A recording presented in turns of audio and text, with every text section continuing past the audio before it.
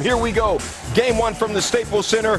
Kobe and the Lakers, their 30th finals appearance. Dwight Howard and the Magic, his first. Here's what Magic coach Stan Van Gundy said to his team beforehand. Last series was all about LeBron James. Even when we beat him, it was about how LeBron reacted after the game. That's all that mattered, right? That's all that mattered. It's all about LeBron. This series is all about Kobe. Okay, it's all about Kobe. So look, they don't have to give you any respect. The media, the fans, nothing. But the thing they can't take from you is winning games. Why is Stan talking about us? early on, it was about the Lakers' bigs. Magic, what impressed you early? Well, what impressed me early was here's Bynum, Andrew Bynum going inside, getting the offensive rebound. Stu, he had six of the Lakers' first 10 points. And then Pau Gasol knocks down the jumper. Gasol and Bynum, 12 combined points in the first quarter. And then Gasol draws the offensive foul on Dwight Howard. Van Gundy needs a hug or therapy or something. Dwight goes to the bench with the second foul. Just eight points in the first half. Jameer Nelson, first NBA game since February 2nd. JV, how did he look early? Uh, I thought he played well. He had four assists. He played the whole second quarter, knocked down a couple jump shots, made a nice play there. Hey, the guy averaged 27 and a half during the regular season against LA. He's got to get an opportunity.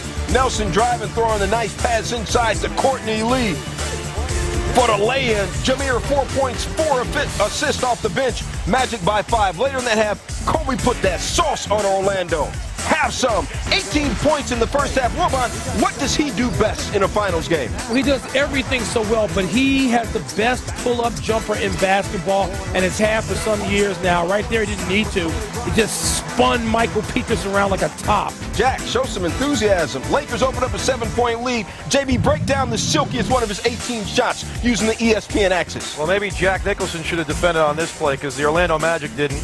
Just a simple high pick and roll. Kobe Bryant being Kobe Bryant right by Gortat and lays it in. He was sensational tonight. Yeah, 18 shots, 18 points in the first half. Lakers by 10 at recess. Third quarter. Kobe just redunk. Hits the free throw. Lakers by 14. Next Magic possession. Dwight Howard, offensive foul. Magic, what happened here? Well, uh, he, he threw the elbow into Gasol. Great position by Gasol. You can see it right there, elbow right there all night long, the, the Laker bigs really frustrated uh, Dwight Howard. Dwight only one field goal through the first three quarters, still in the third. Kobe the pick and roll, stop it. The bounce pass for, to Gasol. Later in the third, well, Mickael Pietrus was supposed to be the defensive, not stopper, but at least a defensive slower downer. What happened? He was slower and downer, Mickael Pietrus was.